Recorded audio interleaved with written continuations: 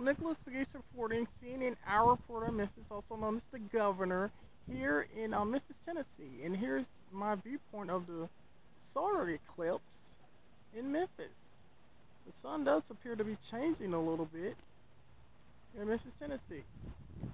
Nicholas Pegues reporting, CNN iReporter, Memphis. I think it is happening, the solar eclipse here in Memphis. So right now it's an eclipse in Australia. Like it's happening here in Memphis because the sun does seem to be changing a little bit. Nicholas Pegues reporting, CNN iReporter Memphis. Also known as the Governor.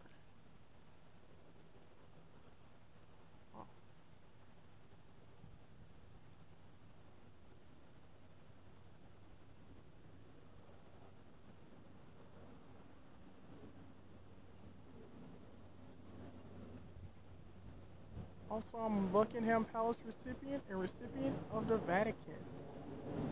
2012.